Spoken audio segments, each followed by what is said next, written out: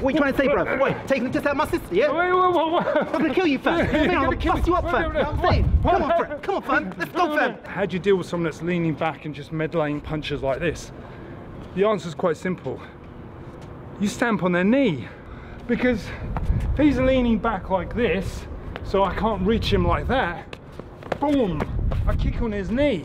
Because if I stamp on the knee, boom, I can take the fight to him. So a good way to kick on the leg is to lift from the back leg and stamp. If he's moving around, boom, I still catch him by a bang, following his leg. If you don't have the skill or the timing, is you can actually kick the shin. What I do is I kick in with the edge of the foot into the shin here. Easy fix. Simple.